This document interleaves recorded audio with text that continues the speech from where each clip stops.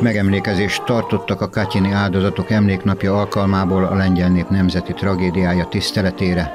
Április 13-a a Katyini vérengzés áldozatainak emléknapja. A tömeggyilkosságot 1940 tavaszán hajtották végre a Szovjetunió területén lévő hadifogolytáborokban raboskodó lengyel tisztek és főtisztek ellen.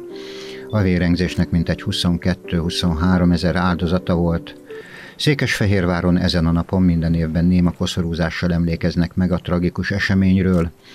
A Katyini keresztnél koszorút helyezett el Varga Tamás országgyűlési képviselő, Székesfehérvár megyei jogú város, a megyei közgyűlés, a Fehér megyei kormányhivatal, a Magyar Honvédség összedarelmi parancsnoksága, Székesfehérvár önkormányzatának képviselői, a diáktanács és a lengyel nemzetiségi önkormányzat, illetve a klub Polónia képviselői.